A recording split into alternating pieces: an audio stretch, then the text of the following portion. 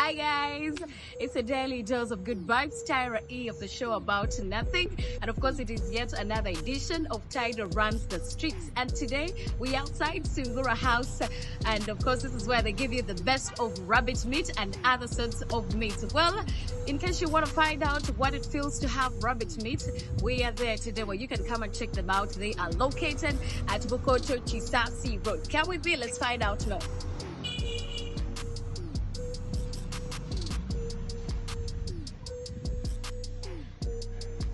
Food because everybody's selling food.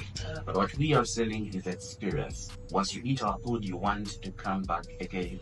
And that has been, of course, uh, the experience so far. And, and yes, that is pretty much what we do.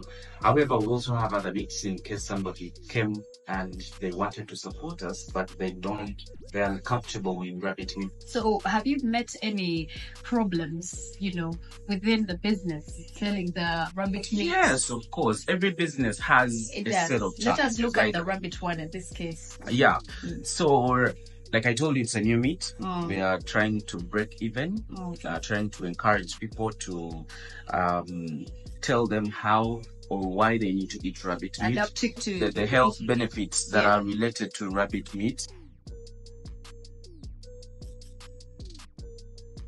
Mm.